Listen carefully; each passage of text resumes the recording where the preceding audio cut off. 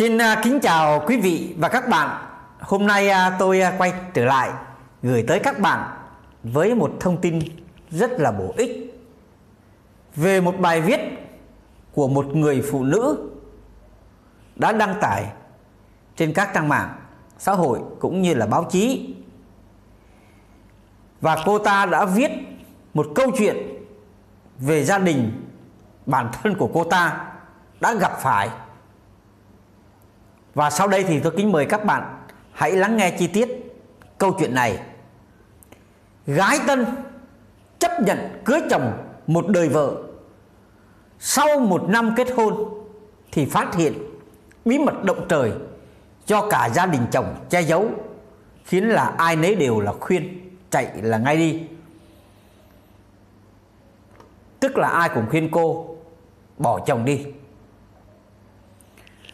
và lúc phát hiện ra thì mình đang mang bầu sắp sinh. Thực sự chỉ muốn giết chết hắn luôn. Lúc đó, giờ sinh con rồi. Vẫn ở cùng nhưng tâm lý mình lúc nào cũng cảm thấy bực bội.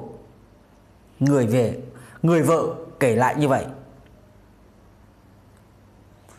Lấy một người chồng là khi phụ nữ mong mỏi kiếm được người đàn ông có thể bên cạnh đỡ đần sẻ chia trong cuộc sống. Lấy chồng mà còn phải cùng họ chịu đựng nỗi vất vả thậm chí là bất công thì nên xem xét tất cả.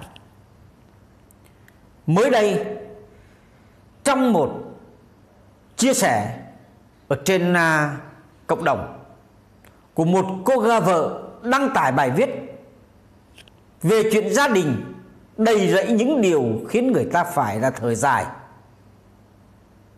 Và câu chuyện như sau. Cô ta viết, mình là gái tân, lấy chồng đã qua đời vợ. Có một đứa con riêng, để là chồng nuôi. Vợ chồng hắn bỏ nhau.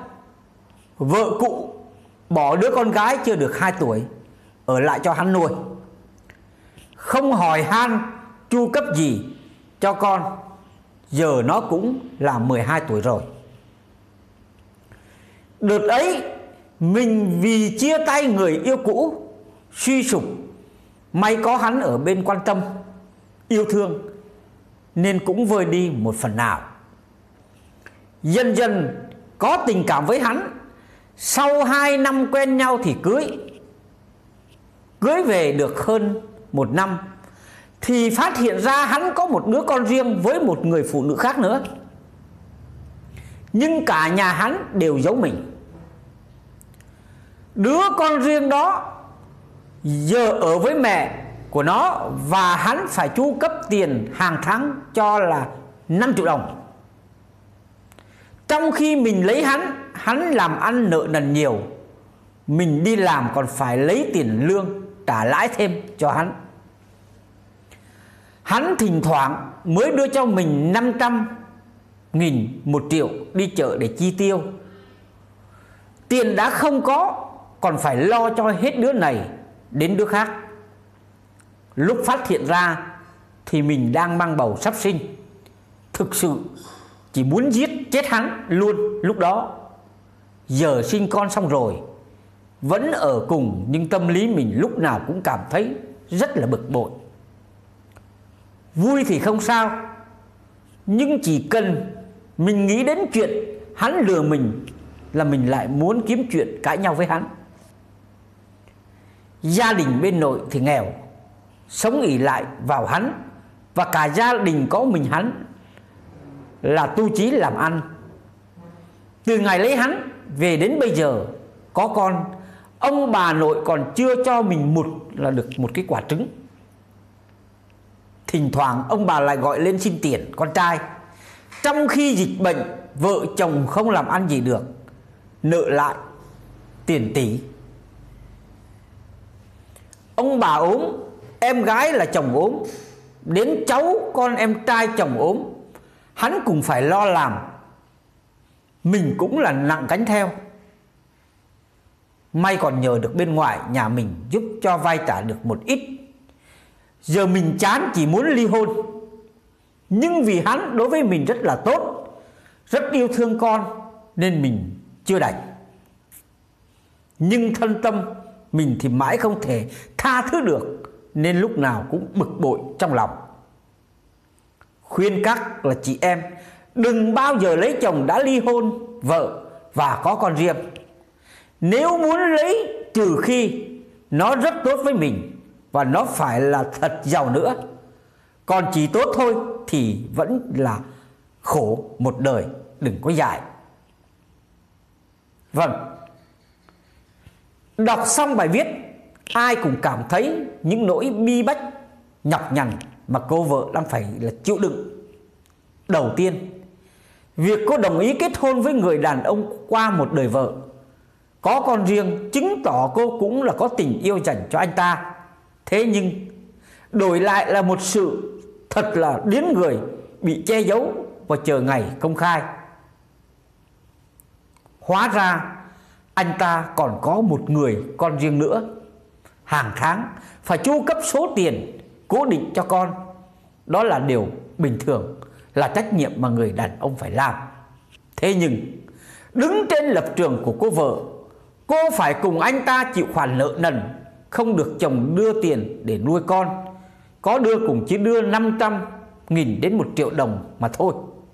Ngoài ra, cô còn phải gánh nặng lo toan về những chuyện bên chồng. Người phụ nữ này quá thiệt thòi, quá vất vả và chịu nỗi bất công mà không được chồng đỡ đần nhiều trong cuộc sống. Ngoài ra, điều to tát nhất là cô đã bị lừa dối ngay từ đầu để bước chân vào cuộc hôn nhân. Anh ta rõ ràng có đến hai người con riêng nhưng không nói đến khi cô chính thức kết hôn rồi mới là vợ lẽ. Nhiều dân mạng đều đồng loạt cho rằng quyết định ly hôn là điều nên nghĩ đến bây giờ. Hai vợ chồng sống với nhau phải có được niềm vui, sự hạnh phúc nhưng rõ ràng Cô không có được điều đó. Cô bí bách Luôn nghĩ đến chuyện lừa dối Của chồng và buồn bực trong người.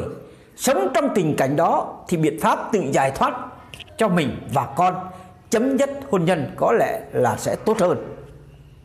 Vâng Đây là một bài viết, Một câu chuyện Mà cô chia sẻ rất là đau lòng. Các bạn thấy không? Tức là khi yêu Cô đã không chấp nhận anh ta đã có một đời vợ rồi.